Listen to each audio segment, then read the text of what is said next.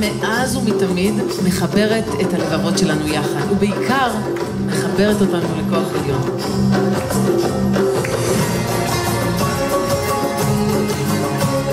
את תחילת הדרך המוזיקלית שלו עשה עם ישראל בשירת הים.